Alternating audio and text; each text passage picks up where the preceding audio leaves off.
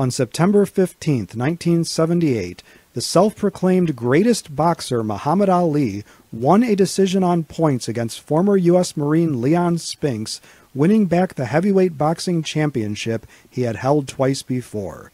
Ali became the first three time heavyweight champion, having previously won the crown in a fight against Sonny Liston in 1964, defending his title nine times successfully before losing his crown during a dispute with the U.S. government over military conscription in 1967. Ali returned to the ring in 1970, winning a pair of fights before challenging Joe Frazier for the title. Ali lost that first Frazier fight, but then won the crown back in 1974 when he beat Big George Foreman in Zaire. Ali defended his second title 10 times before losing to Spinks in 1978. Only seven months later, Ali won.